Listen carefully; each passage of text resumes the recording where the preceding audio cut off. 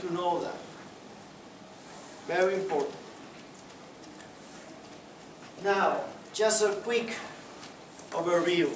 Axial map is a map that provides us just uh, a value that is called the distance between the surface and the, and the, and the axis. It's not the true curvature. It's not. It's just the distance between the surface and the axis. So that creates a soft maps, very beautiful maps. But it's not very, very useful to know the exact place of the lens, you know. It, it helps us to know that you have larger optical zones, how much treatment we did, and so on. But I prefer the, the, the true maps, like instantaneous or curvature, and so on. So that is called tangential or true or instantaneous and so on. Tangential map provide us the real curvature in any point. And that creates very difficult to understand shapes because, for example, axial map is very useful at the beginning to know, wow, there is astigmatism there, this limbal, this central, and so on. It's very useful. But after that, it's, for me, it's very important to, to work in a differential, uh, uh, in tangential instantaneous map that is real curvature. Elevation maps is useful in order to know before to fit the lens that the lens will be centered or not. Uh, that's why because the lens will always trend to go to the ele more elevated areas. And that will help us to understand if we have the centering or not before that occurs. That's the only reason to have. And now we are going to the main problems that are centering problems. Yeah. So, well, that's we want always. A lens that, this is the lens. That's the cornea. That's the center of treatment. This is perfect alignment. Sorry, this is uh, bullseye. Yeah, no problem here.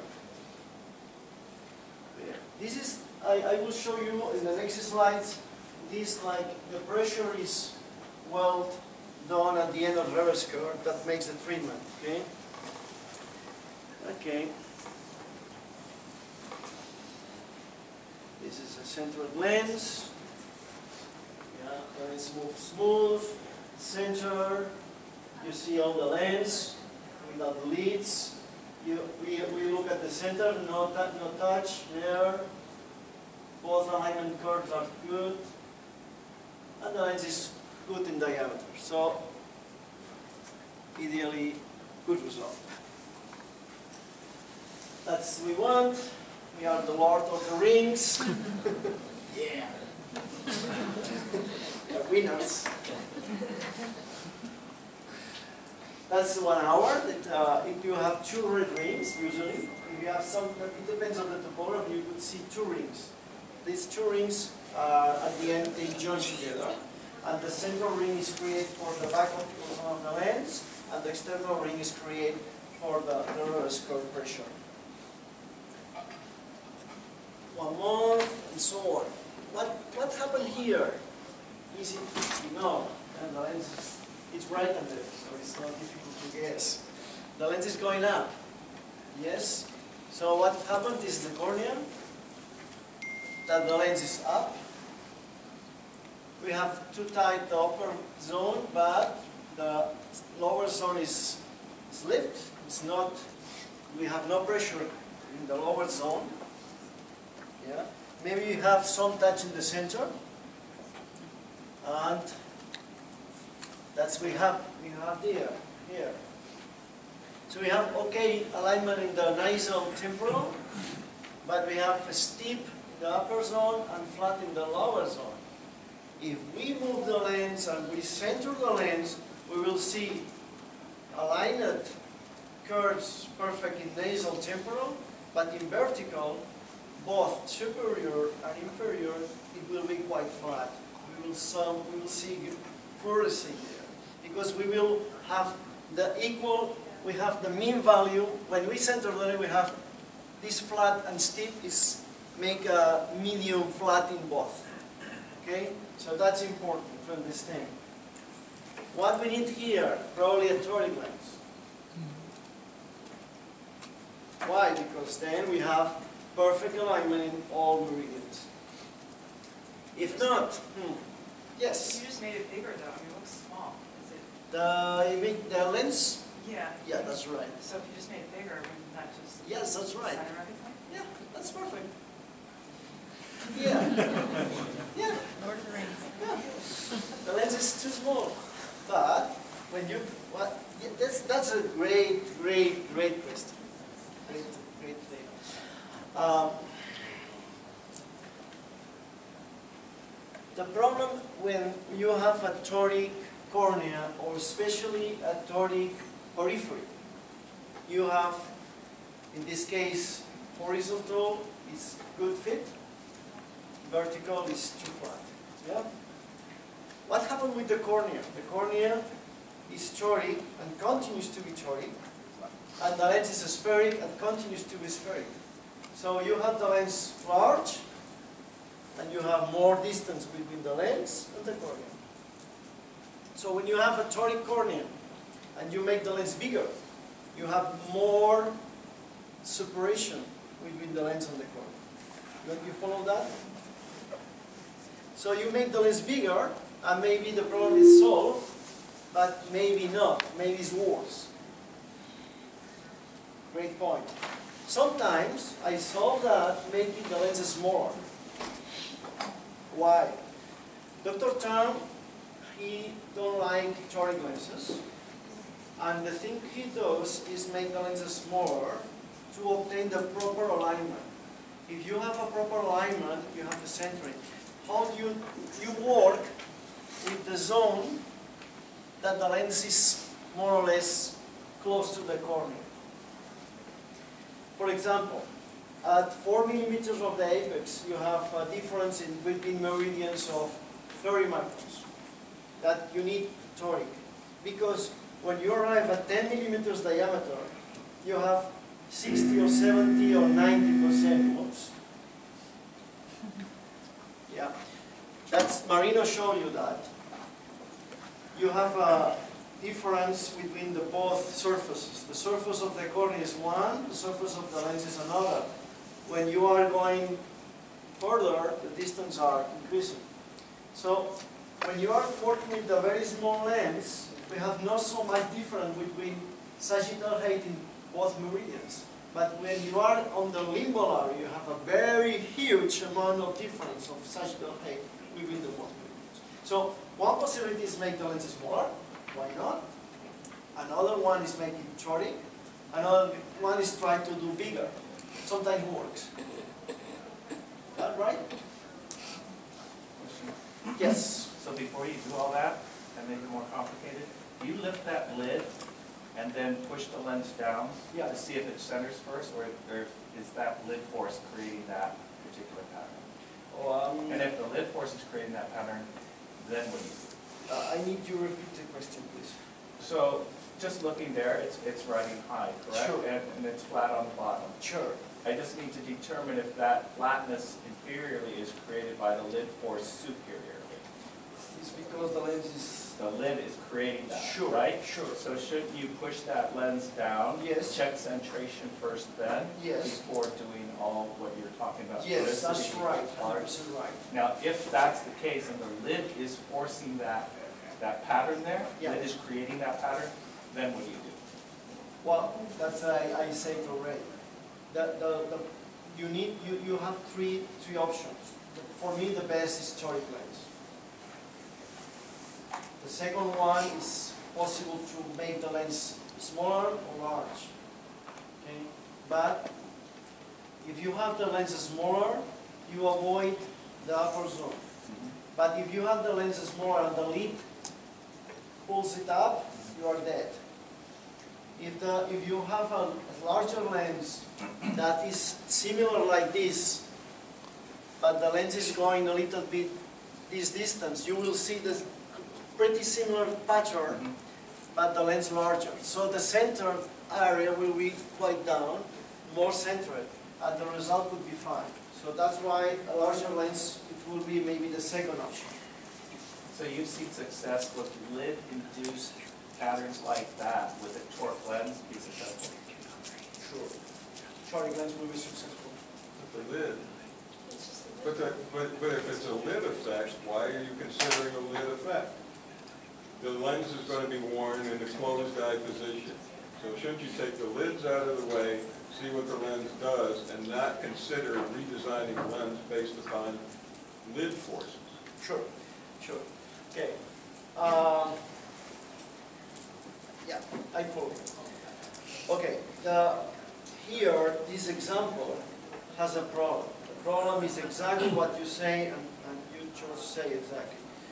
We don't move the lens to center in the cornea, so we are talking on a lens that is decentered after we open the lid.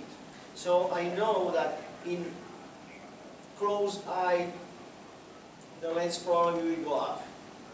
Uh, but I'm not sure, because overnight, we, we, we know what happens next day, next morning, not at this morning. So, next morning, I could see the lens centered at good treatment, so patient are happy, I'm happy, finish the problem, that's right.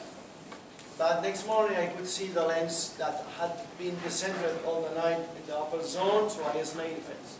And I need to change for toric or large or something like that. So next morning, will tell us what happened exactly why. That's, that's true. The second point is, I say, we have the problem because this video don't, don't show us the lens center. That, that's the place we need to check the lens, really. I will, I will try to see in the video on the right, right side, one moment. Here is the video.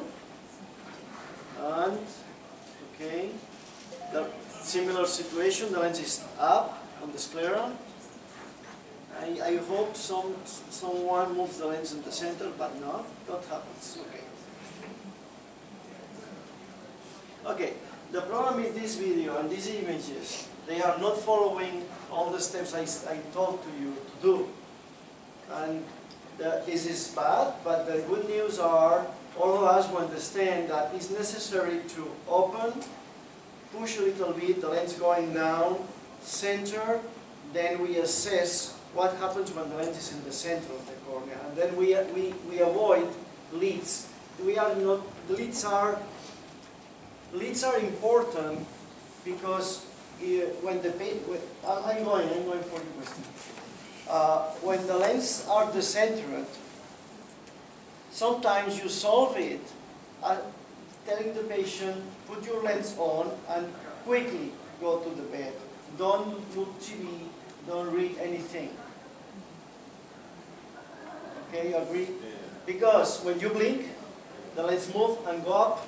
And if, you, if your stairs are not very nice, the lens will drool there. And then will remain there all the night. That's, that's, that's lid forces that produce that, but because the patient blink with open eye with the, with the lens that is not centered. Then, or you teach the patient to go directly to the bed, or you improve the fitting. Okay? You have a question? Can, can I just ask one more thing? Just Sure, sure. still on this. So, to just determine if that lid is creating that, the answer then, you're saying is toric lens.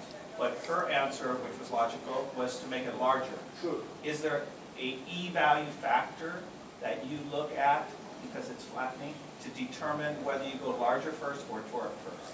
No, uh, Or uh, it's just trial and error? I, I'm toric biased, so. I noticed that, see, so, so, so I think everybody here would be larger diameter bias, just because it's simple. Uh, okay, And your, your, your question and the answer is on a, on a, on a theoretical level. On the theoretical level, theoretical level, you look at the eccentricity value to understand what happened with the limbal area of the cornea, right? Then you decide, you choose a toric or a spherical angle. But in the real world, that I said previously, you look at the image and you know perfectly that you have, the vertical meridian is not well aligned. You know that, because the fluorescein tells you very clear, it's not necessary to go for the eccentricity values. That is the truth. So then, if you want to have alignment in, horizontal and vertical meridian, go for a peripheral curves. If you don't want, you don't care about that, and the only thing you want is the patient happy, you could increase the diameter. Now, uh, this is, uh, this, this is a discussion that is very interesting. Uh, I have more questions there, but I will finish with a, with a, a, a point that is very, very important. When you feed the toric or when you feed spherical. Okay. We know that we could press, compress the, the, the peripheral epithelium around 25 microns at least, not more than that, more or less. Some people say 15, some people say 20, some people say 25, maybe more. If I have a different sagittal height at the, at the landing, at the end of the reverse curve, for example, a 6 millimeter central zone lens with a reverse curve of uh, Um, 0.6, it will be 6 millimeters plus 1.2, 7.2. So at 7.2 chord, if you have less than 25 microns, you could work with the spherical one. Why? Because when you put the lens on, the lens will rock a little bit, you will see a little bit the lift, and so on. If you are lucky and overnight the lens center, that happen mostly parallel times, you will compress the na- let's imagine that is a normal regular with the rule horizontal. yeah? You will compress nasal and temporal peripheral epithelium, and the lens will settle down around 25 microns. At the end, you will have a total reverse curve alignment. So you will obtain treatment, correction for the spherical and correction for the toric area. But you have more than that. You will never get a total reverse curve alignment, 360 degrees. So you will lose treatment effect on the, on the vertical, on the toric